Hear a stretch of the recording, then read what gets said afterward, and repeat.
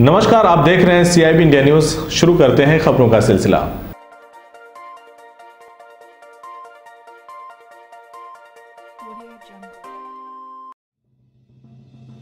कन्नौज में आतंकवाद विरोध दिवस पर पुलिस ऑफ़िस में एसपी ने पुलिस कर्मियों को शपथ दिलाई।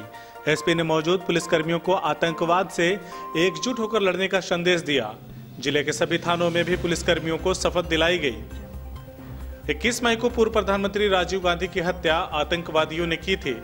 इस दिन को देश में आतंकवाद विरोधी दिवस के रूप में याद किया जाता है।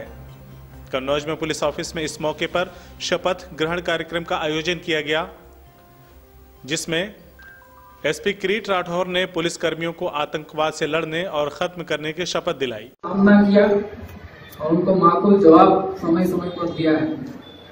और ये आतंकवाद आतंकवाद विरोधी दिवस मनाने का और ये शपथ लेने का यही प्रयोजन है।